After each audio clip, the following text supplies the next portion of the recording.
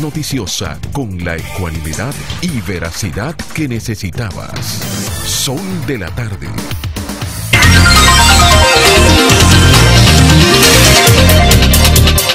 Bueno, bueno, bueno, bueno, sol de la tarde. Llueve, hay agua en diversas zonas del territorio nacional y va a seguir lloviendo. Hay que hablar con la, sí, con UNAMED, con la doña, con la ingeniera Gloria Ceballos, porque continúa la lluvia y tenemos suelos saturados y, ya son dos días, ¿eh? Son dos días y ya se siente en algunas zonas el peso de, de, estas continuas lluvias por efecto de dos fenómenos en la zona eh, y parte de, de, este desorden que tenemos en el clima. Por, por Portugal anda Ofelia. Bueno, pasó Portugal y las Azores y siguió para, pasó Irlanda por Gran Bretaña, un, de, un desorden. Uno de los eh, fenómenos más al norte y más al este en toda la historia de los huracanes. Entonces, es parte del trastorno que tenemos en, en la naturaleza, provocado por los daños que, provoca, que generamos los humanos. Bueno, aplazada para el jueves la audiencia de solicitud de medida de coerción contra el exdirector de OMSA, el señor Manuel Rivas, y otros tres imputados eh, involucrados en la muerte del abogado eh, Junior Ramírez. Estaba el tema relativo a que los abogados de la defensa pidieron el conocimiento de un video mostrado por los fiscales. Ellos decían que no tenían conocimiento porque apenas a las 8 de la mañana eh, se dio esta información, se depositó esta información y tenían que tener, tomar conocimiento, ver el contenido de los videos para participar en la audiencia de solicitud de medida de coerción, que recordemos que el Ministerio Público ha pedido un año para el exdirector de OMSA, Manuel Rivas, para el encargado de finanzas, ya coronel cancelado, el gerente financiero de OMSA, también para alias el Grande y para Argenis, que es un, una persona señalada por los testimonios que ha dado alias el Grande, como el individuo que hizo el disparo mortal a Junior Ramírez en el interior de la camioneta luego de ser raptado en terrenos de la Universidad Autónoma de Santo Domingo. Recordemos que hay una solicitud a la Interpol para la ubicación, captura, envío a República Dominicana de Argenis, que es señalado, repito, como el principal responsable de la muerte de Junior Ramírez. Entre tanto, en los medios se ha difundido bastante información relativa a este caso. Por ejemplo, el interrogatorio de alias el Grande es, es interesante. Es una versión interesada. Probablemente usted nota algunos, eh, digamos, los acotejos en, dominicano, eh, como a él le llaman, él no tiene iniciativa, él no sabe a quiénes que van a matar. Eh, supuestamente, según este relato, lo, lo leí en el periódico El Día, eh, Argenis en una ocasión contacta a Alias el Grande y le dicen que vayan a la universidad y hacen un poco lo que le llaman la inteligencia, la, la verificación de la rutina de Juno Ramírez, lugar donde imparte docencia, donde guarda el vehículo, determinando si había cámaras en la zona. Entonces, bueno, fueron ese día, según el relato de Alias el Grande. Luego, en una ocasión, él se dirige a Onza, dice, y Argenis lo intercepta y le dice que vayan a la universidad. Se montan en el vehículo de Argenis. Los dos son vehículos oficiales, son dos vehículos de la ONSA. Pero eh, utilizan el de Argenis según el relato de alias el Grande. Acuden a la universidad, se le pregunta que si Argenis y Juno Ramírez conversaron alias el Grande, dice que lo presume porque Argenis se desmontó del vehículo, habló por teléfono y a los pocos minutos apareció eh, Junior Ramírez al, al, lugar donde ellos se encontraban. Dice alias el Grande que Argenis le había instruido para que cuando estuviesen conversando fuera por detrás y lo, lo, lo abrazara y lo empujara hacia el interior de la camioneta. Junior Ramírez es un hombre de una contextura media, eh, no sé exactamente, pero luce como de 5 o 8, más o menos.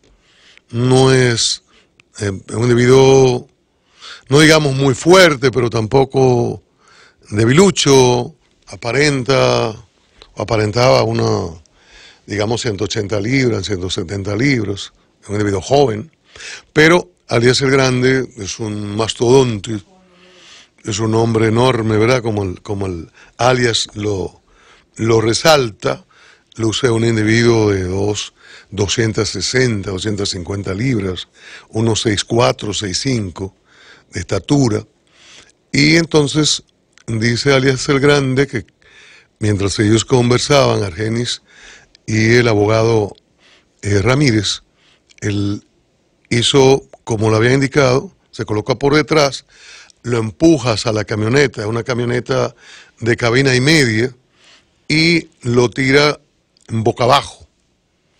Tira boca abajo y Argenis se echa el asiento para atrás y lo, lo apretuja, digamos, un poco. Salen de la universidad, él hace la ruta de, de, las, de la forma que salieron y las vías tomadas, hasta que llegaron, llegaron a la cercanía de la OMSA, y ahí es que le hace el disparo en el ojo con salida por, por el cráneo. Eh, se colocan cerca de los alcarrizos, en el giro que se hace como de vuelta a la ciudad, cerca de un banco eh, privado que hay en la zona, y ahí, dice Alias el Grande, que esperaron una cuatro, cinco, seis horas. Eso salen, de, salen nuevamente, dice Alias el Grande, que él toma su camioneta y se va a su casa y Argenis con el cuerpo se va por otra ruta y que él al día siguiente se entera por los medios de comunicación que el abogado que él empujó hacia el interior de la camioneta de Argenis es el hombre hallado en un riachuelo de Manu Guayabo. Dice que Argenis le prometió 100 mil pesos y que le dijo que fueran a hacer un trabajo. En todo esto él se coloca como una persona que no sabía que iban a matar, que el trabajo era para el secuestro. Claro, recordemos que el secuestro es, una, eh, es un delito agravado en la República Dominicana que tiene 10 años más. Creo que son 40 años por secuestro. Se ha agravado. O sea que si el grande cree que eso le salva menos años, está equivocado, aunque luce, da la, la sensación, la apariencia de que estaría eh, cooperando con las autoridades, que esto podría eh, reducirle la pena o, al menos que el Ministerio Público pueda pedir reducción de pena cuando se plantee este asunto en el juicio de fondo. Pero él dice que por el trabajo le iban a pagar 100 mil pesos le preguntaron que se había tenido otro contacto con Argenis y que dónde estaba.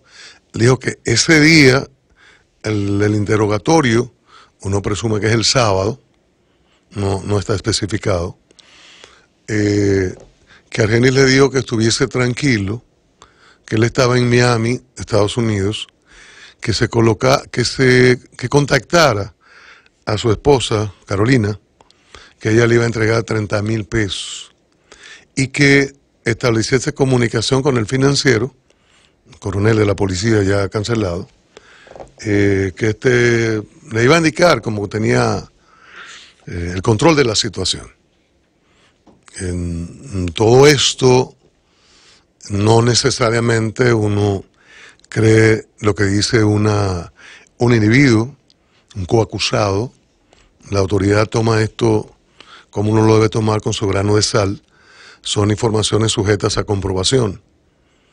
Eh, pero eh, es una información a partir de la cual se puede continuar eh, haciendo los contrastes y las verificaciones. O sea, es un, es un interrogatorio importante, se hicieron allanamientos, hay otro, otras informaciones tomadas por el Ministerio Público que tienen que ver con los siete contactos que, que supuestamente se hicieron con Junior Ramírez para ponerse de acuerdo con el pago. Uno de los contactos fue en el Hotel El Embajador y ahí habría sido pagado el millón de los cuatro acordados.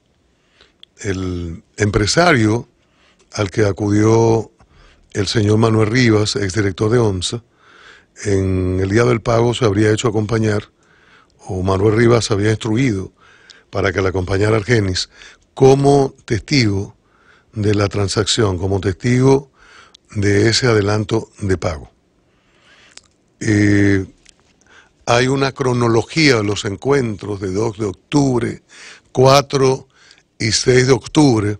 Entonces el último pago se haría eh, al día siguiente de la audiencia en que alegadamente Juno Ramírez desistiría del sometimiento a la justicia de acuerdo al relato del Ministerio Público.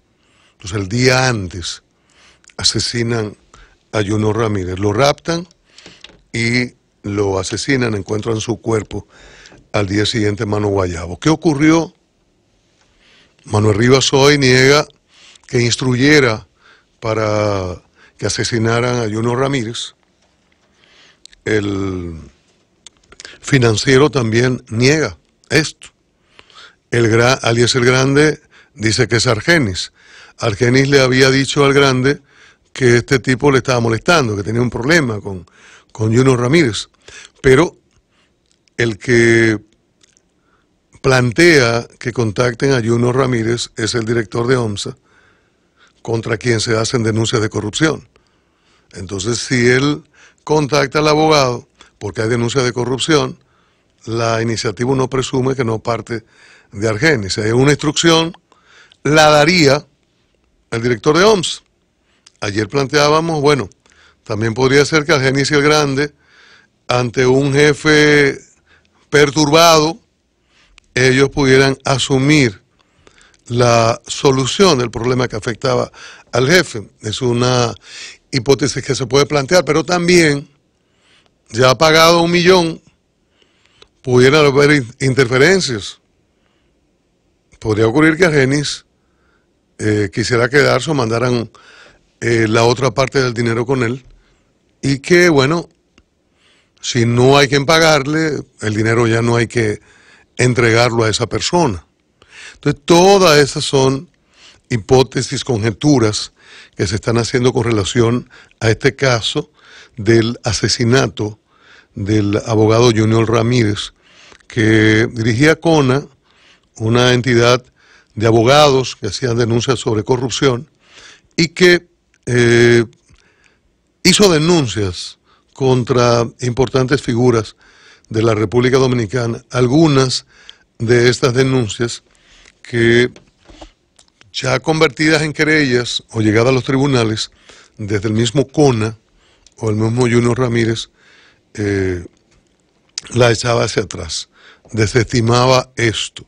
Ayer dábamos lectura a una, eh, una denuncia que hizo en una audiencia una persona que estuvo vinculada a CONA y estuvo vinculada también a DOCO y hacía serias acusaciones contra CONA y ADOCO, diciendo que ellos estaban actuando mal, eh, se habían distanciado de la lucha contra la corrupción y planteaba prácticamente de que eh, se estaban corrompiendo. esta información, este señor, eh, Christopher Rosario, creo que es un nombre que está en España, ayer la reiteró a un medio e hizo incluso algunas advertencias a personas que él presume que harían lo que se le imputa a Junior Ramírez.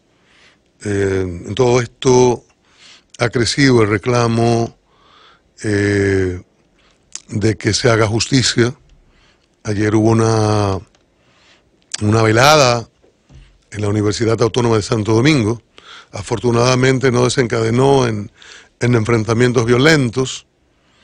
Hoy los familiares han subido el tono de que se trata, eh, familiares de Junior Ramírez han subido el tono de que se trata de afectar moralmente al abogado y bueno, su hijastra también ha hecho algunas advertencias en este sentido y hay toda suerte de conjeturas en la población. El mal sabor en todos los ámbitos de la sociedad dominicana de que el maldito tema de la corrupción, el maldito problema de la corrupción como un asunto de fondo en, toda esta situación. Es lo que eh, desencadena y está en el fondo de todo. Y bueno, ya contamos los muertos del CEA, SOE, etcétera. Es una situación eh, realmente muy preocupante porque hay una gran impunidad en la República Dominicana. Bueno, buenas tardes, República Dominicana. Comparto con usted, patrón, todo lo planteado. Esto, el meollo de todo este asunto es la impunidad, la no persecución de la corrupción. Ayer lo dije, lo voy a repetir hoy. Si este caso, cuando fue denunciado y resaltado en portada por el periódico El Diario Libre hace ya tres años, cuatro años, y que luego es el instrumento que se utiliza para, para la potencial práctica de extorsión que se está materializando y que se evidencia en este caso, este muchacho no hubiese sido asesinado. Eso es lo grave. Si hubiese sido resuelto en aquel momento la denuncia y se perseguía a quienes tuvieran estos eh, compromisos, relaciones de, de no contratación, de no licitación, de sobrepago a las reparaciones de los autobuses. Una cosa sobre la cual uno no tiene duda, ¿eh? porque una institución que se maneje con tanta libertad, con tanto eh, como libre albedrío, ¿no? con un presupuesto tan alto, aunque en los últimos años había estado exhibiendo, según lo ha delatado el señor, eh, el mismo Manuel Rivas, casi autonomía, la ONSA, casi autonomía. Es así. Eh, esta institución debe ser vista ya a partir de ahora con, con un esquema diferente, Cristian, porque la ley de tránsito, el Intran, de la ONSA crea una empresa pública. O sea, no es ya la, la oficina aquella de, de, almacén de vehículos que se robaban los motores, la dejaban todo de guañimbá. usted veía los, vehículos ahí que parecían un esqueleto nuevo de dos o tres años, que terminaban comprándolo en, en, ocasiones hasta los mismos transportistas privados, le compraban, terminaban comprando el vehículo y que en manos del sector privado duraba mucho más tiempo aquí eran de deshuesada totalmente. Una locura era aquello en la ONSA. Esta institución tiene otro esquema a partir de ahí, de la aprobación de la ley del Intran. Ojalá y el señor Mojica eh, lo pueda interpretar y ponerlo en práctica. Es una institución totalmente diferente a la que con los a la que los políticos le hicieron coca porque no es de ahora. Yo recuerdo las guaguas banderitas cuando las trajo Balaguer. Recuerdo la Onatrate que trajo Salvador. ¿Tú recuerdas? Sí, sí, Onatrate. Eh, bueno, Onatrate iba yo a la universidad. No, Onatrate era o Don Antonio. Don Antonio con Pérez, de Pérez Polanco. Don Antonio. Don Antonio Guzmán.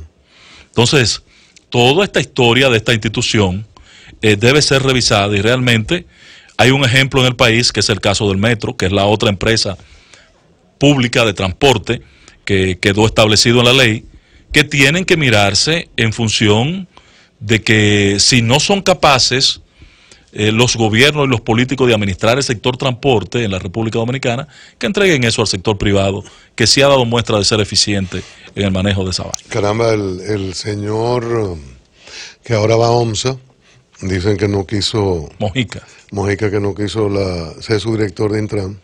Y mire, Iba, iba como su director, sí. y mire cómo quedó en un tercer o cuarto escalón. Y lo grande es a qué se dedicó eh, en el tránsito.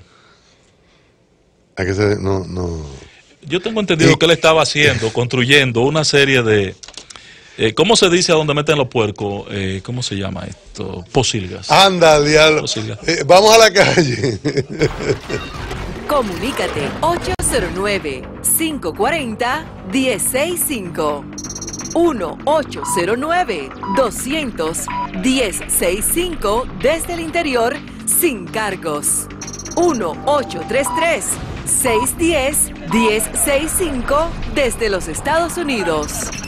Sol 106.5, la más interactiva. 3, 3.55 minutos. Buenas tardes, diga usted. Buenas tardes. ¿Y doña Consuelo? ¿Sí? Doña Consuelo. Eh, Consuelo está recuperando su salud de una influenza, pero pronto estará aquí. Estamos Ángel y yo. Diga. Bien. No era para preguntar por ella, está bien, gracias. Perdón. No, él va a pasar. Buenas tardes, diga usted. Buenas tardes. Tú vienes la tarde. Te va a llevar socio Eduardo. ¿Cómo estás, Ángel? Mal. Ángel, dime yo, ¿cuál es el trabajo que tiene la Cámara de Cuentas? Que yo estuve averi- averiguando, desde desde 2010 la Cámara de Cuentas no iba a hecho una auditoría a la ONSA, y por falta de recursos. No la hizo la auditoría No la ha hecho desde 2010. Desde el 2010. Sí, tengo ese informe también de que desde el 2010 esa institución no es auditada. Y eso es una pena. Mira, Cristian, yo sé que no se pueden auditar las miles de instituciones Sí, que claro. tiene, pero deben meterlo en una funda y decir, estas mil, las que salgan, serán auditadas. Pero el problema es que ni eso. Es un desastre. Buenas tardes, diga usted. Buenas tardes. Buenas tardes. Sí, Manuel de Neuguel. Hable Manuel de- de- desde New Jersey. Fíjate, patrón, hay que saber distinguir entre los transportistas, porque hay una parte de transporte que son los el Pulpo, que Lea. tienen un, un- un monopolio, pero hay también sectores de transporte privado. ¿Cómo cuáles tú dices? Muy, muy eficientes. Hay autobuses que viajan como el metro y compañías, transporte final. Tienen otros criterios de administración. Ma- Manuel, Manuel, mira, óyeme, la gran irresponsabilidad del gobierno dominicano ha sido históricamente abandonar el transporte a su suerte. Gracias a Dios que estos transportistas, como, como Antonio Marte, eh, la gente del metro, como tú dices, Freddy Espinal de Santiago, tú lo conoces, a Freddy Espinal.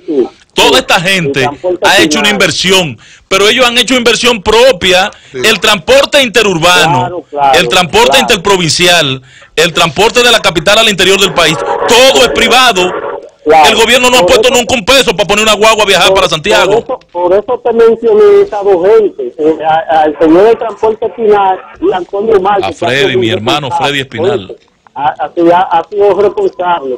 Y la otra cosa ya para concluir, señores. Antes me fiaba, ya no me fía. eh, vamos a tratar, vamos a tratar de quitar el planeta que está hablando. Y no queremos atender a nuestro planeta. Es así, gracias Manuel. Buenas tardes, diga usted. Buenas tardes, don Cristian. Buenas tardes, patrón. Hola. Estoy guapita con el patrón. Ay, ¿qué Estoy hice? guapita con el patrón. ¿Qué yo hice? No la maltrate. No, a, a memoria del viernes. Eh, ¿Qué Cristian, patrón. hice? Eh, aquí hay comunicadores y periodistas.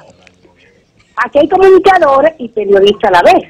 Pero yo confío más en un periodista que en un, comu- en un comunicador. Te digo por qué, Cristian Jiménez y patrón.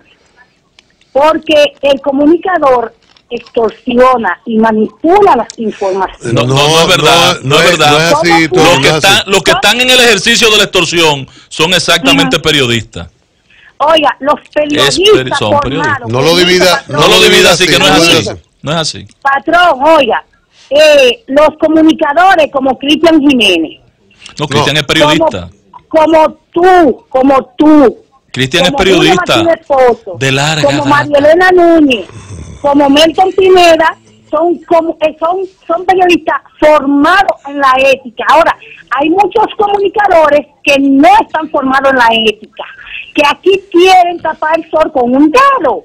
y quieren manipular las cosas. Y las cosas van a poner cada cosa en su lugar. Ahora bien, Dios nunca escribe Sí. en una línea torcida, sino una derecha. Buenas tardes. Gracias, Toli. Hay periodistas y comunicadores bandidos y delincuentes, extorsionadores, hay Ambos. periodistas y comunicadores serios Sí. y que hacen su trabajo. Claro. No, no se puede dividir en una y otra cosa. Hay gente de un lado, de otro. es así, es un ejercicio. Aquí y fuera de aquí. Sí, de personas, de las personas. Vamos a una última llamada. Buenas tardes. Cristian, Sí. eh, el, el señor, el, el coronel involucrado en la tragedia, Ajá. un año después de trabajar en la ONSA, en- del 2013 al 14, ya había comprado una finca de 8 millones. Todo el mundo se enteró, menos la justicia. Cambio fuera, Mauricio.